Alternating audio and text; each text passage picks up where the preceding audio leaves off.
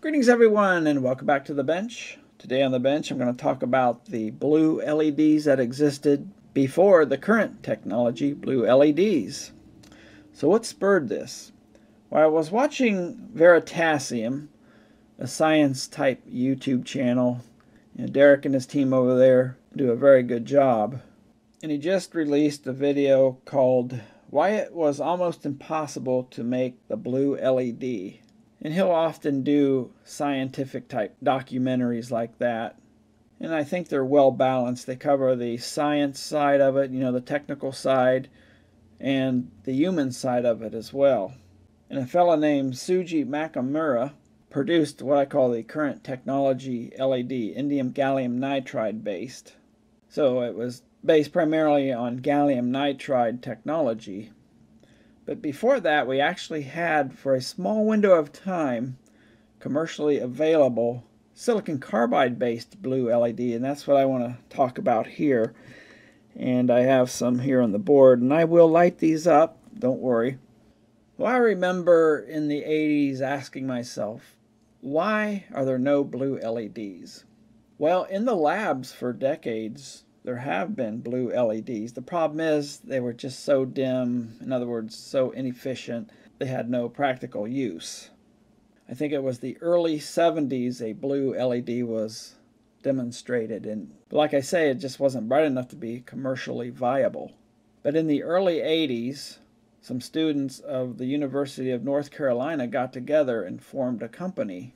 And that company is Cree, they wanted to produce silicon carbide based semiconductors, and one of their earliest projects was to tackle the blue LED. They wanted to make it bright enough to be viable for commercial sale. And in 1989, that became a reality. And in the early 90s, those LEDs were for sale. You could buy them at DigiKey. Of course, they weren't as bright as the indium gallium nitride LEDs that came out shortly thereafter, but they were still bright enough to be used as indicators or some specialized purpose. So one thing I notice with a lot of people that are interested in electronics is they have a fascination with lighting devices.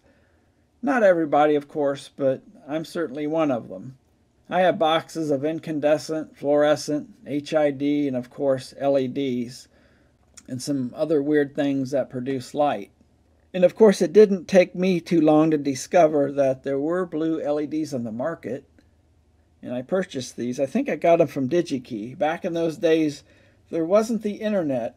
You had to thumb through these thick catalogs of electronic components. And uh, I don't know how I found them, but you know, I was just looking around for LEDs or something, and there they were. They're kind of expensive, $3.50, whatever that is in today's money probably close to 10 bucks, but you know, that's a lot of money for a 5 millimeter LED.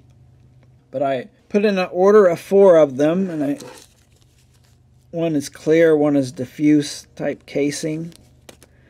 And uh, let me fire them up. Can you even see that? Look at that. I remember when I first fired these things up, I was awestruck seeing blue light coming from an LED. I was just awestruck. And these are running at 20 milliamps, and you know they're not that bright at all. They're just like a um, fairly dim indicator light.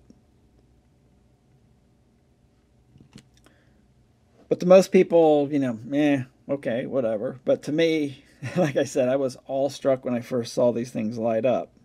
Okay, to show you the difference in brightness, I have a modern indium gallium nitride LED next to the silicon carbide based ones.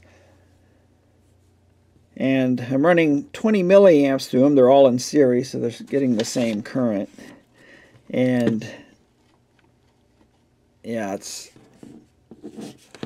look at the difference. And this one's lighting up the paper.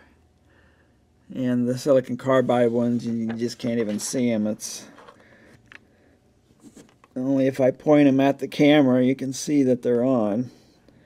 And while we're at it, just a few years after the introduction of the brighter indium gallium nitride LEDs came the white LED. And all that consists of is the blue LED covered with a broad spectrum yellow phosphor. And that ends up outputting white light. And here is an early 5 millimeter LED producing white light, as you can see here. You can see it's fairly bright, not as not nearly as bright as the ones we have today, but of course much brighter than the silicon carbide LEDs. That LED was made by Nichia. If you watch that video I mentioned earlier, you'll know what I'm talking about. I got this in early 1997 and I believe the first white LEDs came out in 96. So, you know, that might be from one of the first batches. And roughly a decade later, when LEDs became even more efficient, they started supplanting incandescent lighting.